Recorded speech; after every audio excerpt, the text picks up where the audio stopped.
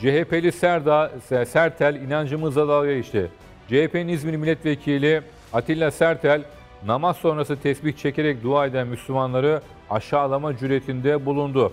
Halk TV'deki ska- skandallara bir yenisi daha eklendi. Atilla Sertel camide avro dolar diye tesbih çekmiyorlarsa adım Atilla Sertel değil. Arada altın da olabilir ama avro dolar diye çeken çok sözleriyle Müslümanların zikir inancına dil uzattı. Programın sunucusu Ayşenur Aslan da daha önce fakirlerin yatırım aracı ahiret, cennet, sabır onlar da öbür dünyaya yatırım yaptıklarını düşünüyor diye Müslümanların inancıyla dalga geçmişti. Ondan sonra da biz niye inancımız e, iktidar olamıyoruz diyorlar.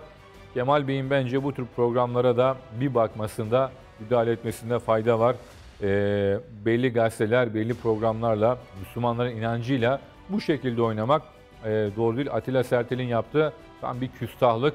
Ne demek yok do- dolar avro diyor, çekerek tesbih çekiyorlar diyerek Müslümanların e, zikir inancıyla bu şekilde e, dalga geçmesi ne hakikaten kabul etmek mümkün değil bir nefret suçu olduğunu bir kez daha söyleyelim.